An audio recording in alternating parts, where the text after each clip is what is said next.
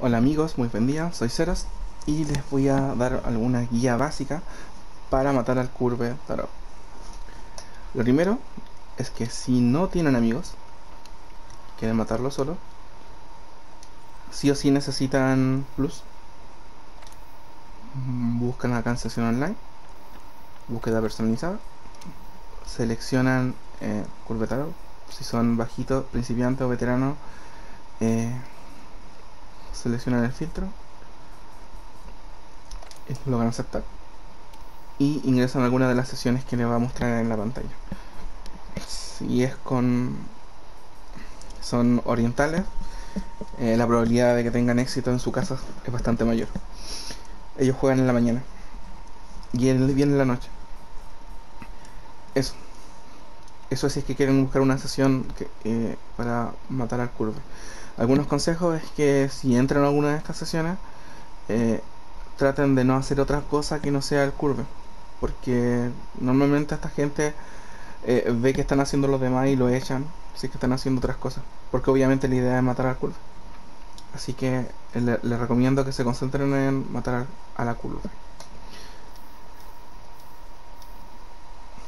A modo de introducción, Curve es un bicho bastante grande eh, que está hecho principalmente para matar para matarlo en grupo. Eh, se puede matar solo. Es difícil matarlo solo de verdad que es muy difícil matarlo solo yo lo he intentado. Se puede hacer pero es muy difícil. Y para poder obtener eh, la probabilidad de tener recompensas mayores hay que matarlo bien o sea hay que destruirle varias partes y para poder lograrlo es muy difícil matarlo solo. Así que de verdad traten de, si están solos, hagan lo que sigan el consejo. De verdad, yo la mayoría de las veces lo he matado sin amigos. Y, y bueno, eso. Traten de matarlo en, grupo. Bueno, como verán, eh, el curve, la curva tiene dos partes eh, durante la pelea en general. Eh, la primera parte está cubierta de oro por lo que es débil a rayo. Y la segunda parte, cuando una vez ya, que le, podemos quitar la cobertura, eh, va a ser débil a hielo. Cuando es débil a hielo, eh, pueden usar alguna alguna otra arma que la acomode, la arma que la acomode más, que, pueda pegar daño de disparo no elemental, o algún arma de hielo. La última parte hay que romperle los cuernos que están en la altura. Por lo tanto, por ejemplo, la espada dual a lo mejor le va a costar un poco más pegarle. Lo van a poder hacer, pero le va a costar un poquito más. Y se mueve bastante rápido. Por lo que a lo mejor, no sé, una... Si son, si son lentos para moverse con alguna con alguna arma, eh, le recomendaría que trataran de buscar alguna con un poco más de movilidad porque lo va a estar atacando constantemente. Ahí va a depender de ustedes. La primera parte es un poco más compleja en, cuanto a, romperle toda la armadura. Toda el, el curve gigante es una, un, bicho, el bicho más grande del juego hasta ahora. Y eh, su armadura es bastante compleja y tiene varias partes.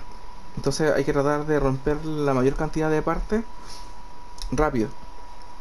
La mayoría de la gente, que el set que recomiendo yo, usa ballesta ligera de rayo, con disparo de rayo. La gracia que tiene es que al dispararle una, al dispararle, eh, la bala va rompiendo todas las partes en el camino, por lo cual se logra un DPS muy muy grande. De hecho, dos personas que vayan con una ballesta ligera y la sepan usar bien, eh, es más que suficiente para poder cumplir con el objetivo de la, de la misión.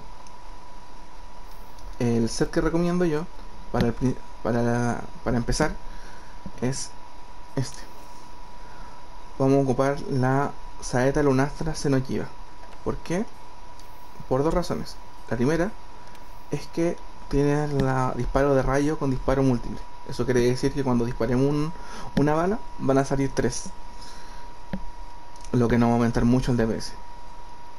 Y la otra razón es que posee el bono afiladísimo tiro extra. Eso quiere decir que cada cierto disparo los puede salir el disparo gratis. Esto aumenta mucho también el DPS. Como vamos a poder estar disparando más, más constante. Lo que vamos a buscar es el bonus de daño elemental por crítico. Eso quiere decir que en, este set tenemos que colocarle mucha afinidad y aumentarle el daño elemental por crítico. ¿Qué set tiene el, daño elemental aumentado de crítico? Es la maestría de Rátalos, que se usa sacando el set de Rátalos. La verdad no es, no muy difícil sacarlo. Es uno de los primeros sets que se pueden hacer. Y el otro set que lo tiene es de Guardia del Rey Celestial. Esto es un poco más complejo sacarlo dado que solamente pueden sacar los materiales con eventos. De hecho, ahora están los eventos y tienen que buscar los eventos que dicen USJ. Este, este es de rango bajo y este de rango alto. Esas son las misiones que necesitan para poder hacer el set de guardia del rey celestial. Si no lo tienen, busquen set de ratas los que, que les sirven a ustedes.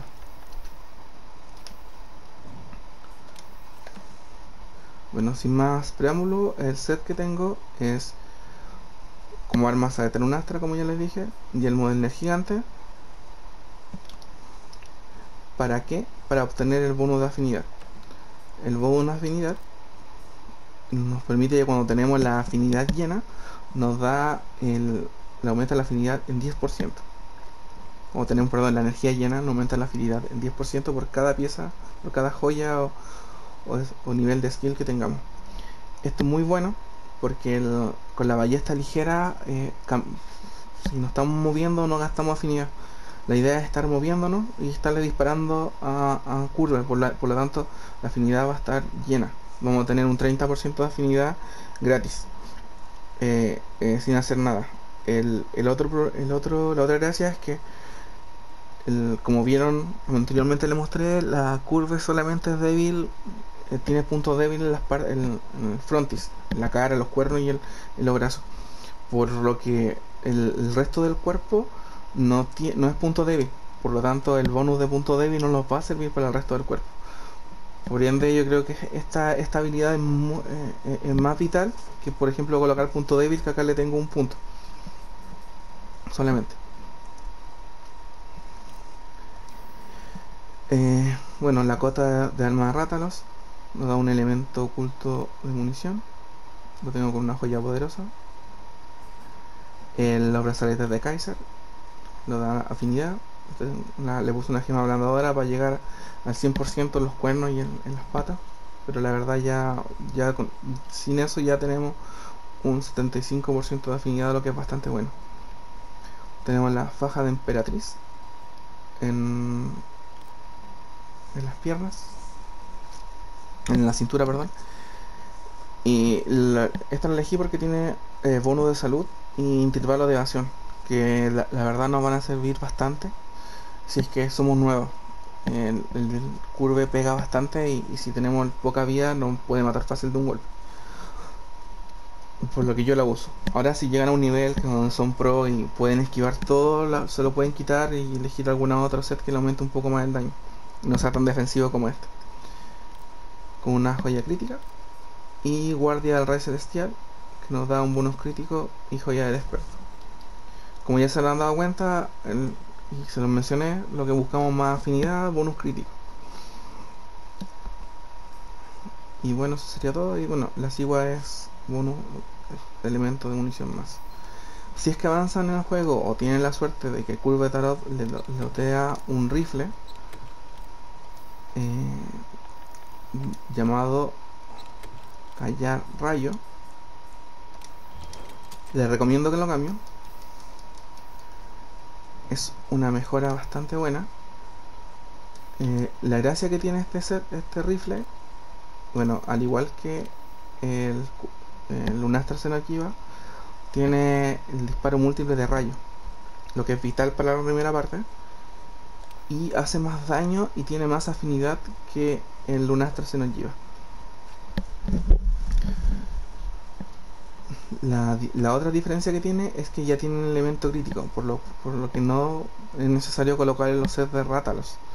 Pero sí tenemos que buscar el set de Xenojiva para obtener el, el, la skill de,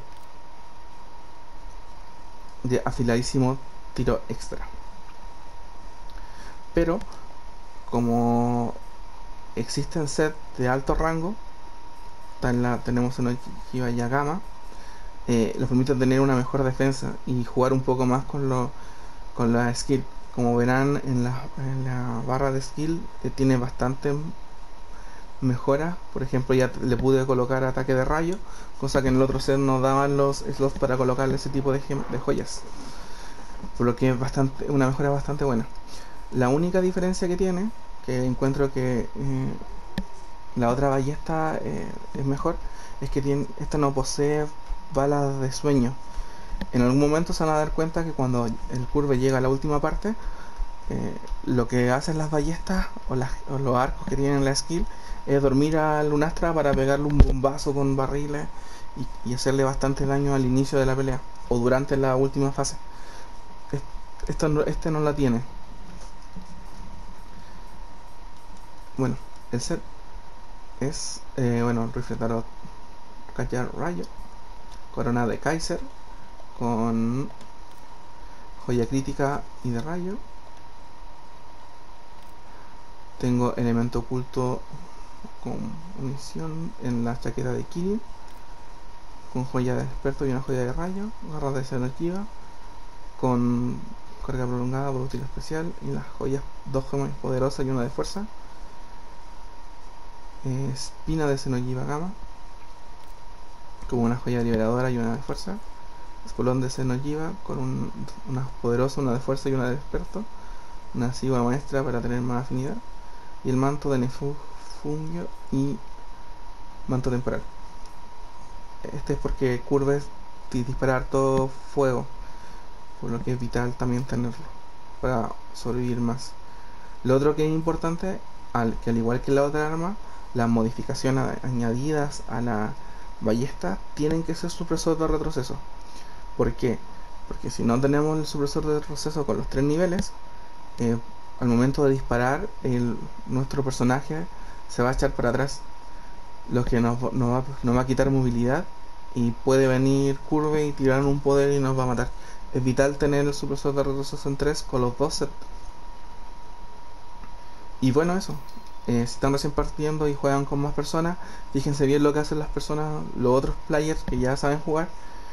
Eh, la primera parte pongan atención harto a, la parte de los cañones, al principio un poco enredado, pero después de un par de veces van a darse cuenta eh, qué, hacer.